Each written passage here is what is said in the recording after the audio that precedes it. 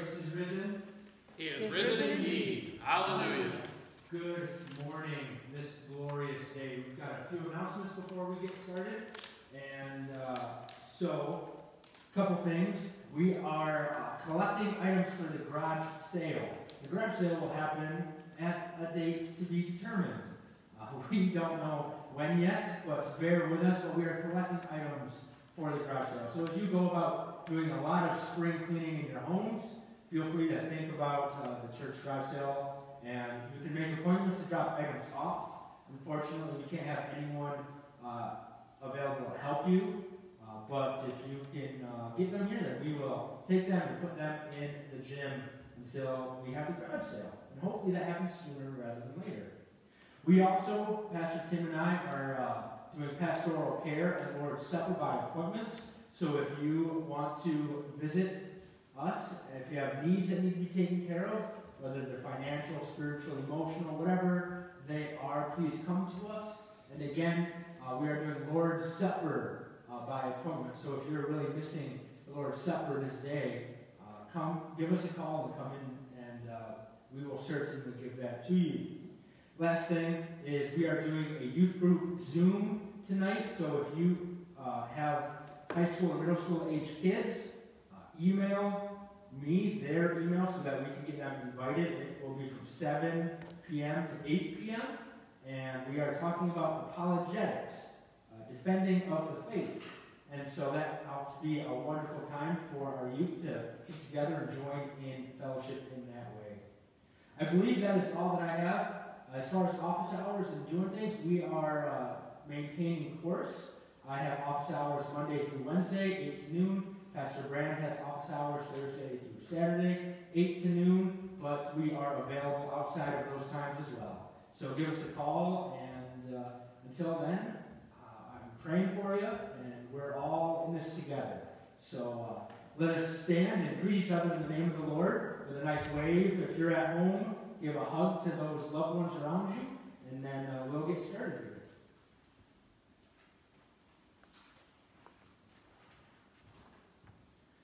In the name of the Father, and of the Son, and of the Holy Spirit. Amen. Amen. Gracious is the Lord and righteous. Our God, God is, is merciful. I love the Lord because he has heard my voice. And, and my pleas for mercy. Because he inclined his ear to me. Therefore I will call on him as long as I live. I will walk before the Lord in the land of the living. What shall I render to the Lord for all his benefits to me? I will lift up the cup of salvation and call on the name of the Lord. I will pay my vows to the Lord in the presence of all his people.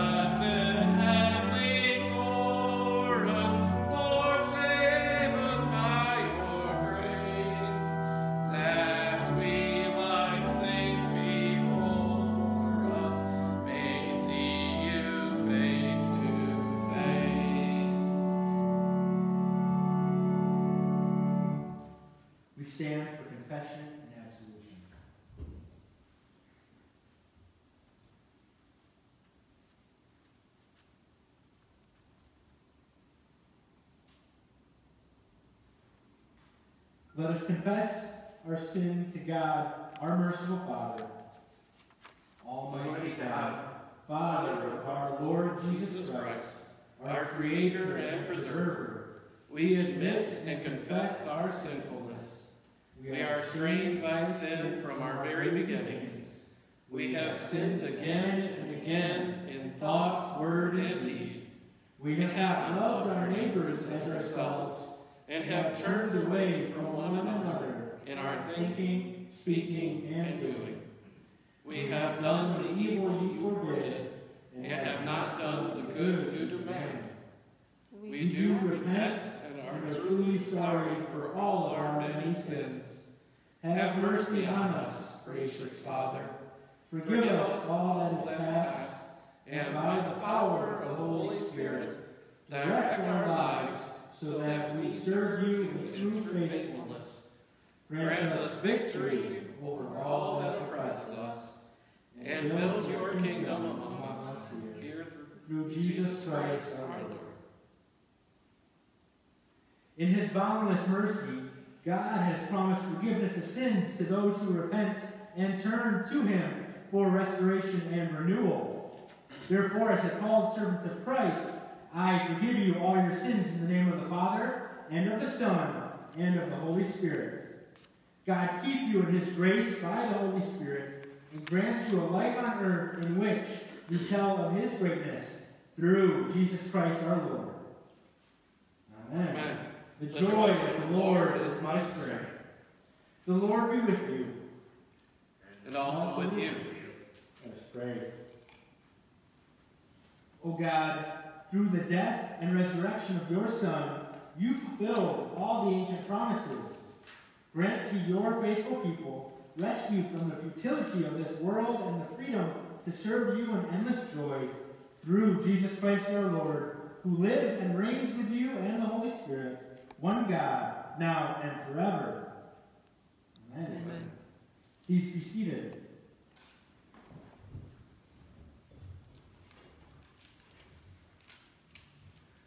Our first reading for today comes from Acts chapter 2, verses 14 and verses 36 through 41. Repent and be baptized.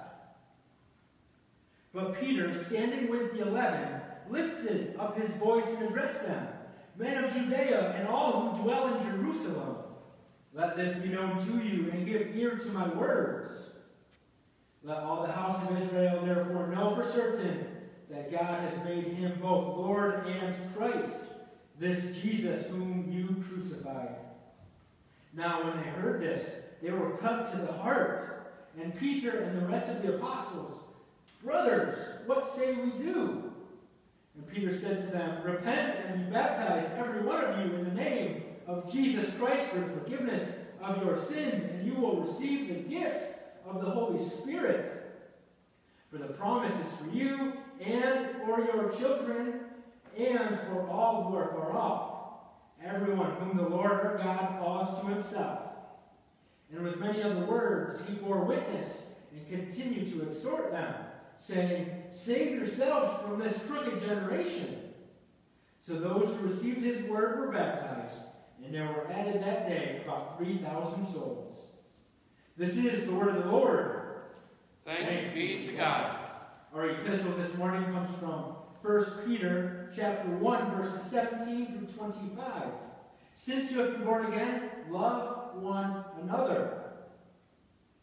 And if you call on him as Father, who judges impartially according to each one's deeds, conduct yourselves with fear throughout the time of your exile, knowing that you were ransomed from the futile ways inherited from your forefathers, not with perishable things such as silver or gold, but with the precious blood of Christ, like that of a lamb without blemish or spot.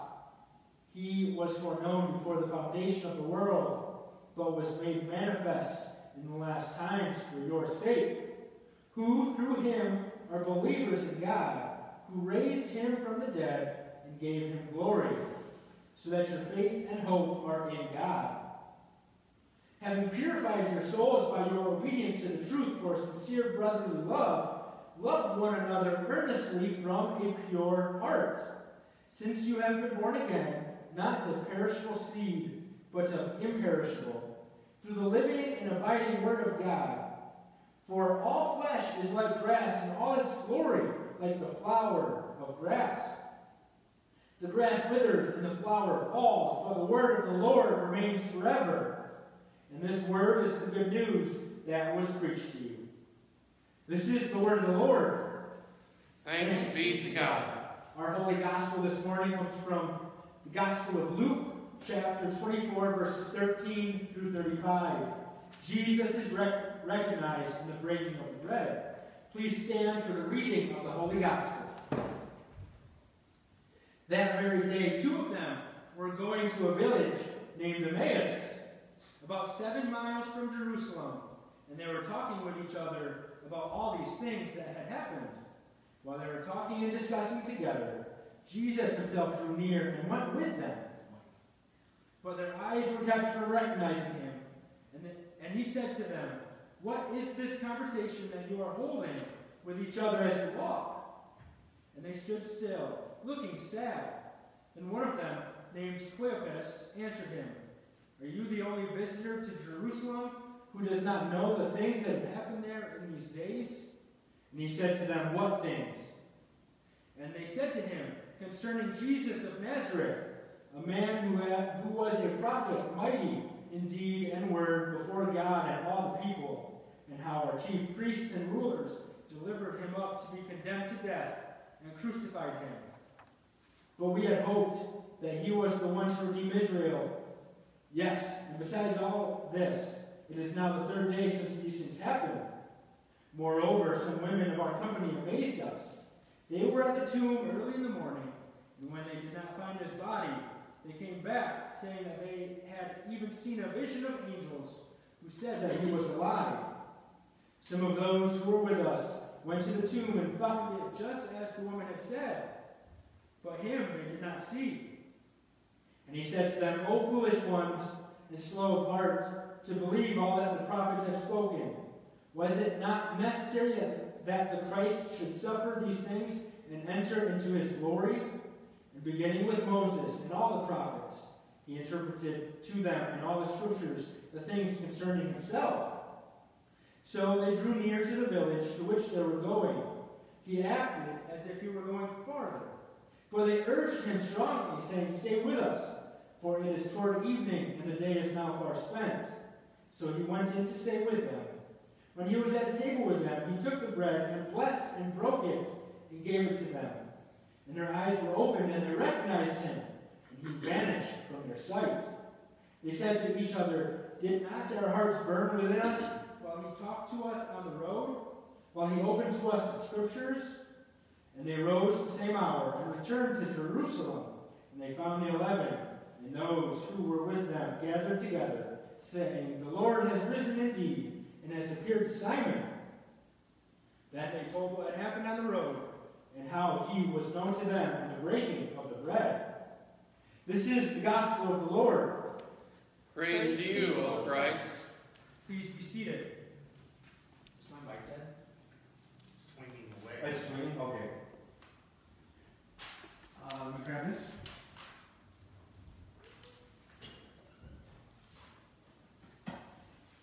Children, come forth.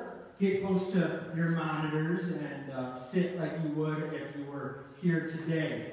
So, I have one of these. It is a mask. And we all are, when we go out in public now, wearing masks, or hopefully if we're able to, wear masks so that we don't get sick with the COVID. We don't want to get sick. But what if I told you there was a sickness greater than COVID and a simple mask cannot protect you? This sickness, this illness you already have.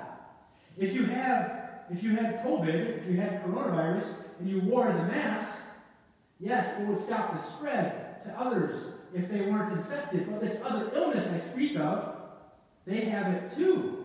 You see, these simple masks are, are good for stopping the, this physical disease, but this spiritual sickness, this sin that I speak of, no mask can stop that. There's nothing that can stop the sin that is in you. This coronavirus, this COVID, it's taking a toll on each and every one of us. Our lives are changed. Normally, you'd be in school. High schoolers, if you're a senior, you would be looking to graduating. A lot of you that would be sitting here would just be excited about spring and how you get to go outside with your friends. But alas, that is not the path that the Lord has us on right now. And with these masks, they might protect us from spreading the illness, but there's only one thing that can stop illness of our sin. With coronavirus, we are hoping that a vaccine comes out sooner rather than later. Hopefully within the next year, so that we can resume things like school, public gatherings, public worship. We are waiting on this vaccine. But the illness of sin, we already have that. We already have the vaccine that cures the sin Christ. There is nothing spirit there is nothing like these masks spiritually that will help us. The only thing that will help us in our fight against sin is the vaccine. It is Christ alone. And so I want to challenge you as you think and live in these coming days, weeks, months before the coronavirus vaccine comes to you, be thinking about how you already have the vaccine of the Spirit. You have the Lord Jesus Christ in you. Those that have been baptized have the Spirit of Christ on them. You are saved. You see these masks. They're good. Wear the masks, but they don't save you. There's nothing of this world that can save us except for Christ alone. So when you wear these masks, I want you to think about Christ and how you already have that vaccine, how you are already cured of it, but we're still living in it. And amidst all of this physical illness, that is, if, if we look out at the world and see how physically ill it is now, that is our spiritual state. We are spiritually sick and dying. Coronavirus only has what? Less than a 1 percentage uh, death rate, mortality rate. Sin, 100%. 100% death rate because of sin. Christ is the only vaccine. And so during this time, I hope that you are in your scriptures. I hope that you are at Christ's feet, reading his words, listening to what he is saying. There's a lot of people out there that are going to tell you oh, you just have to do this, oh, you just have to do that. Wear a mask and you'll be fine. Do this, do that. The only way to be saved is Christ alone. Allow us to pray now. Father in heaven, Lord, bless all the kids gathered around their monitors right now. Lord, bless the families. Bless those with their children who are not currently in their homes, who are grown. Bless us all, Lord, as we just meditate on how you are our vaccine, Lord, to this illness that is sin, that is death. Lord, be with these, be with these kids, be with these students, strengthen them, encourage them, and allow them to know the truth of Christ this day and every day. All of this, I pray, we pray, in your Son's holy and most precious name. Amen. Amen. Kids, don't go too far away from the monitor. Go back and sit with your family. That's fine all right blessings.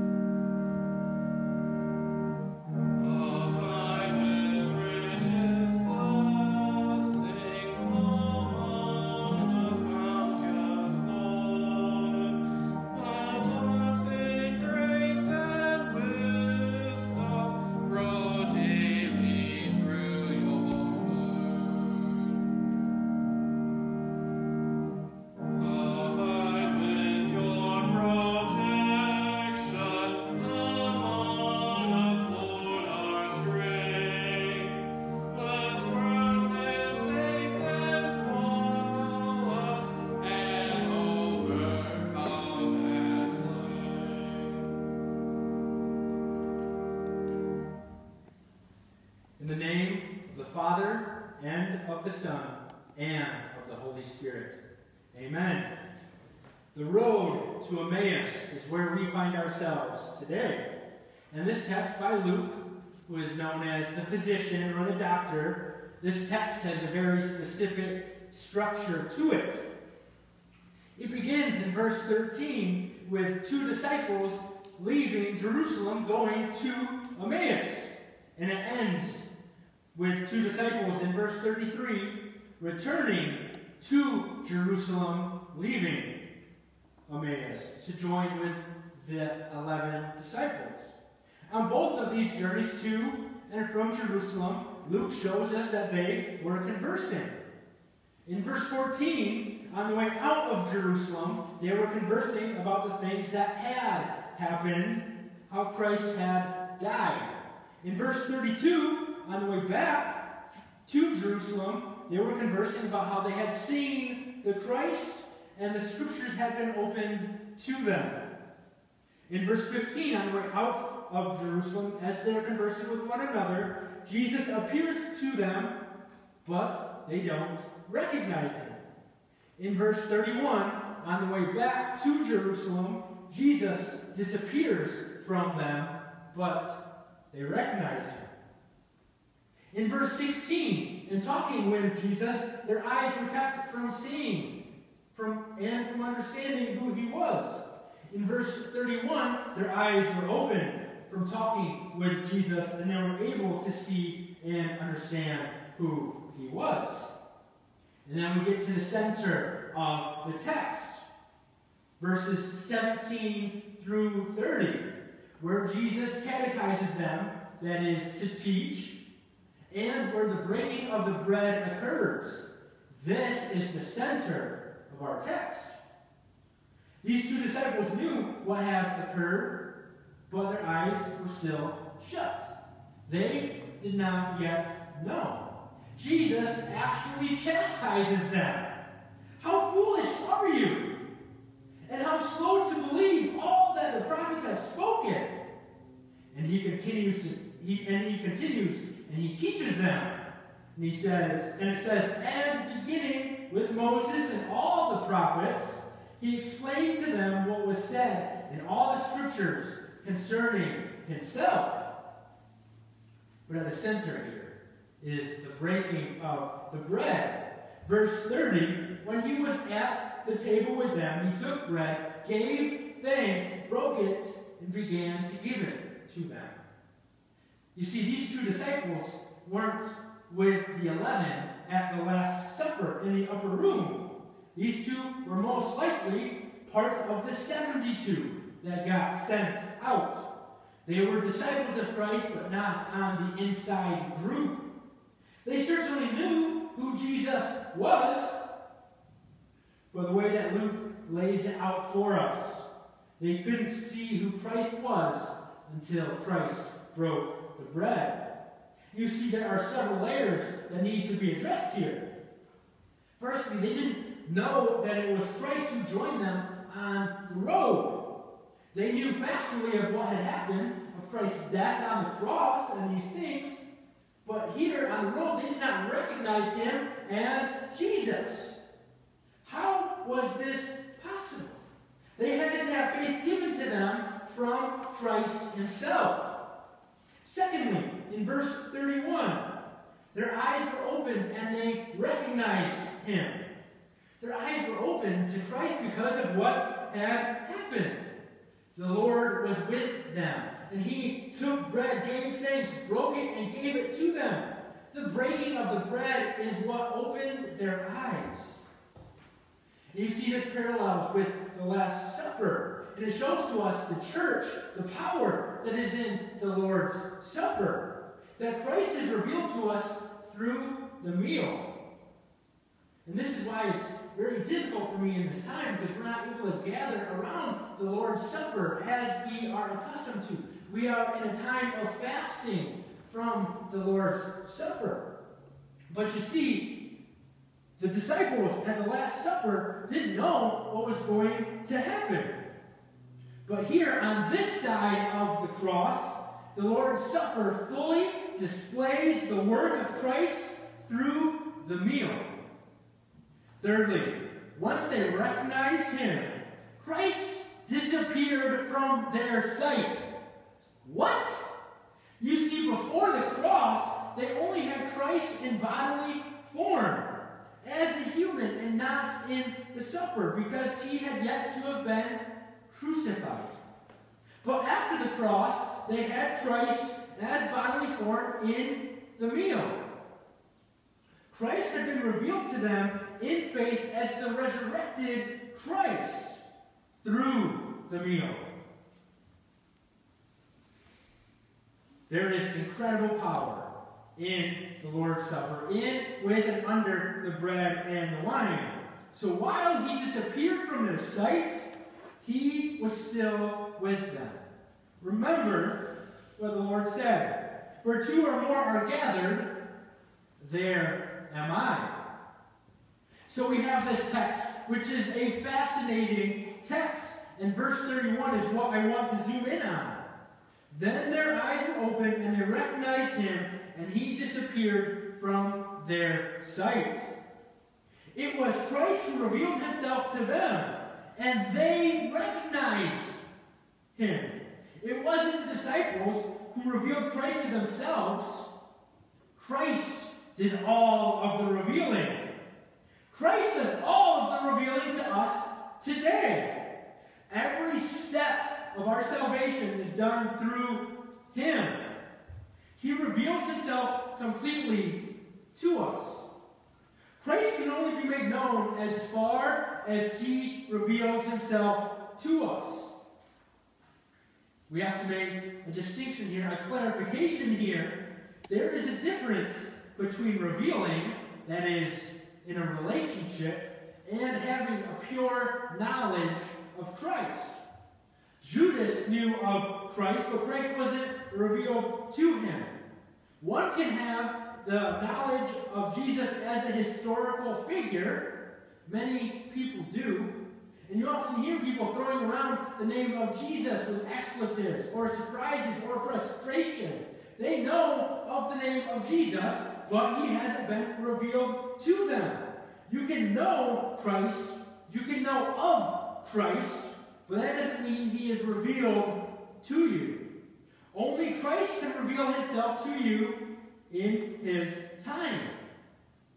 The, there were these two disciples who had known Christ before his death and saw this man who was Jesus. But they were kept from recognizing him as the risen Lord until Jesus deemed it right to do so. And the Lord, through this holy meal, where he broke bread with them, revealed himself to them and reveals himself to us. It is on Jesus to reveal himself to us. I'm going to say that again because it's very important. It is on Jesus to reveal himself to us. Often we place the burden on ourselves. We think that if we can speak eloquently enough, if we know enough about the Bible, if we have enough of it memorized, then we can reveal Christ to others. That's not how this works. Yes, we ought to speak well of the Lord. Yes, we ought to know the Bible back to front, front to back. Yes, we ought to have it memorized. But those are works of you, not works of the Lord. Only the good, only the good works of the Lord can reveal. Only the good works of Christ can reveal. Only the good works of Christ can save. It's not your choice to say, okay, Lord, I'm at a time in my life where I would like you to reveal yourself to me. No, the Lord reveals himself to you when he darn right pleases. And here's the hardest part for many of us. He reveals himself to our children and our grandchildren, our siblings and our friends when he darn right pleases. Many of our kids, many of our grandkids may not be walking with the Lord. And we must understand that it is not, and we must understand that we are not walking with the Lord because of anything that we have done. but we are walking with the Lord because of everything that He has done. He revealed Himself to those disciples, even though they were with Him before Christ's death. They did not recognize Him until Jesus saw fit, which was at the Lord's table, at the breaking of the bread. It's not because of what we've done, it's not because of what I've done, it's because of what He has done. So think about our children, our grandchildren, our cousins, our friends, our siblings, our family members. We think about these people and we pray for them. We pray that the Lord's will be done in their lives. It's not because of me that they are saved, that they may be saved. It is only because of Christ that one may be saved. It is not because of my ability to speak the words or my knowledge that saves anyone. It's through Christ alone. Christ can certainly use me. He can certainly use any one of us. And I want to be used by him. But it's not me or my strength that reveals Christ to others. It's not you or your strength that reveals Christ to others. It's the Holy Spirit's work. Remember, these two disciples knew Jesus before he died. They should have recognized him, but they did not. They were kept from recognizing him until Christ revealed himself to them through the Lord's Supper. Your children, your spouse, your friends, your family, they may not recognize Christ, yet they may know of him. They may know the stories, they may know the name of Jesus, but it is in Christ's will and time that he reveals himself to us. It's through faith. It's not through how good of a parent you are, not through how good of a friend you are, or how good of a family member you are, but salvation is through faith in Christ alone. So we pray. We pray for those who Christ has not yet revealed himself to. We call upon the name of the Lord.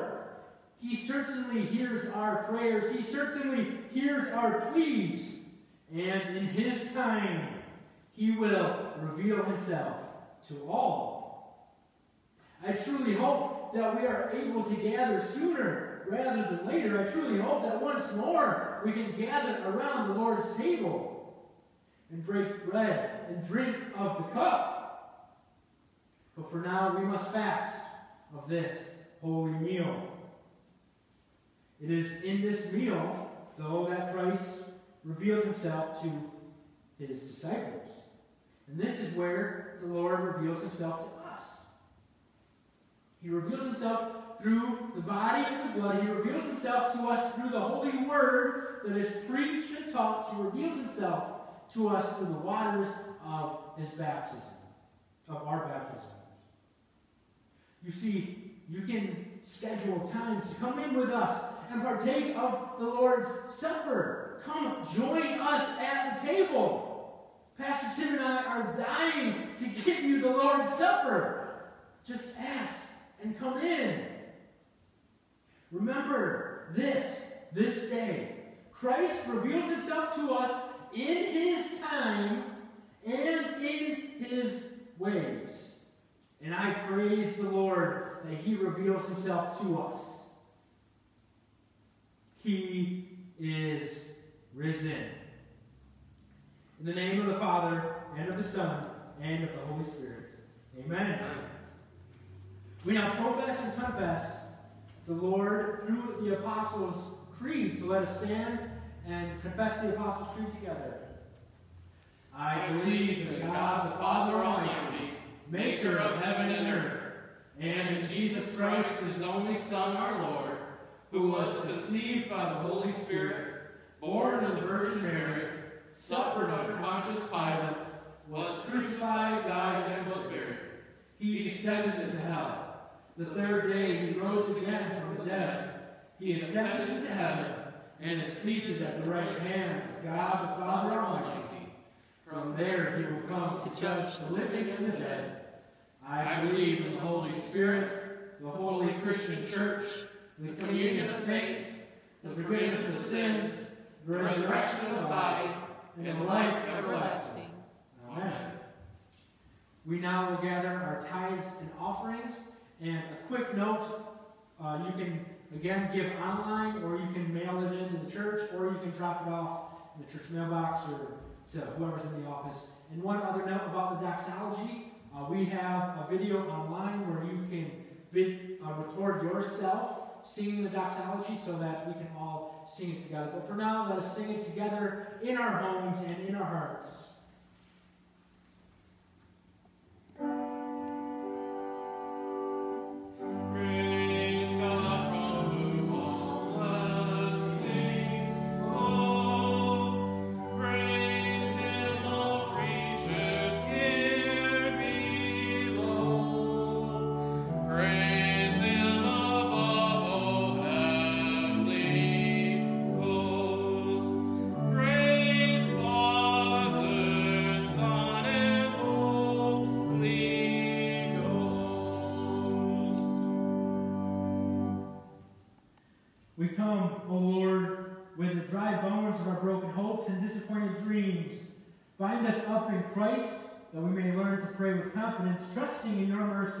To supply us with all things needful to us and to our salvation.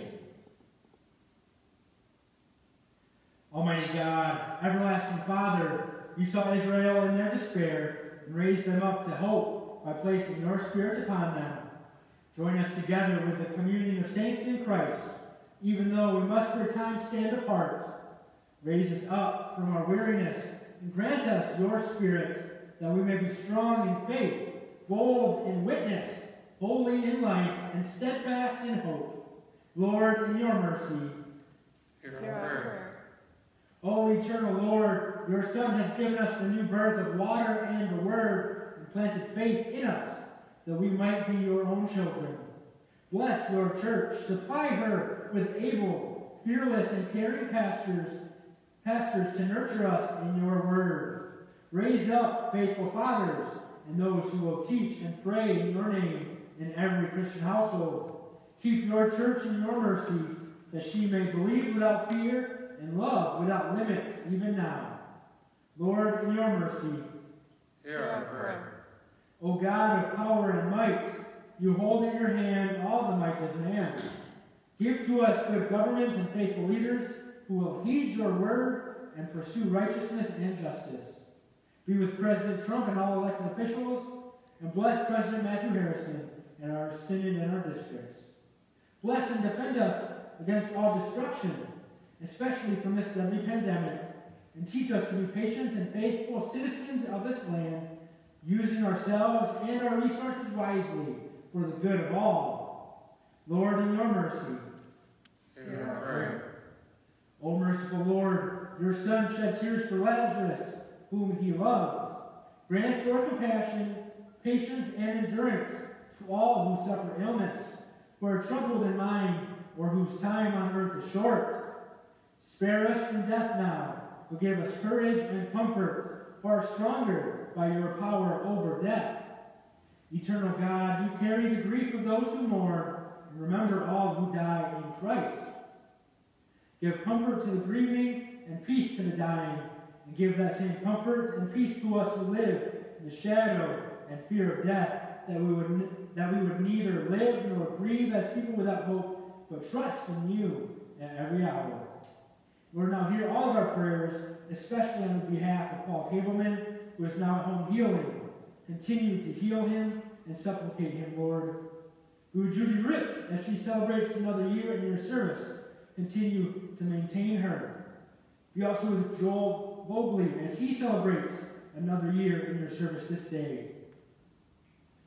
Be with, we thank you for the birth of Hadley Grace Jonkey. Sustain her and her parents, Brian and Danielle, in this time. Be with Lori, Judy Gutschke's niece who is pregnant. Give her comfort and a safe pregnancy in this time of uncertainty. And also, Lord, be with RJ Merker as he continues to serve, guide, and protect RJ. Hear now, Lord, as we pray the prayers you name in our hearts.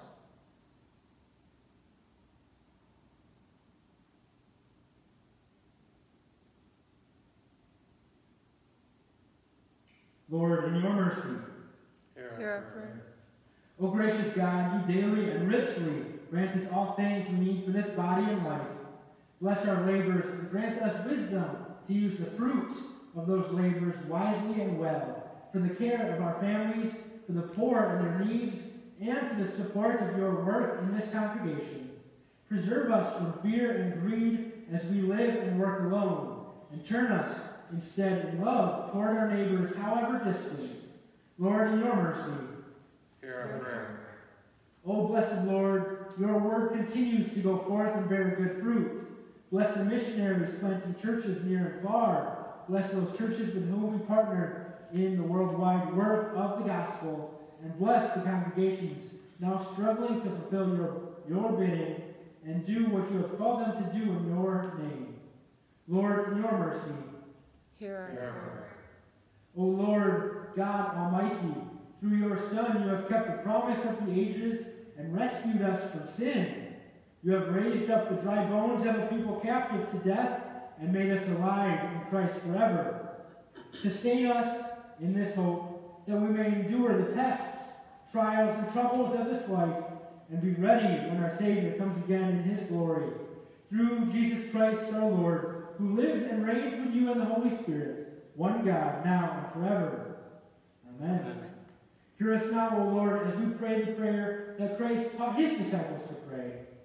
Our Father, who art in heaven, hallowed be thy name.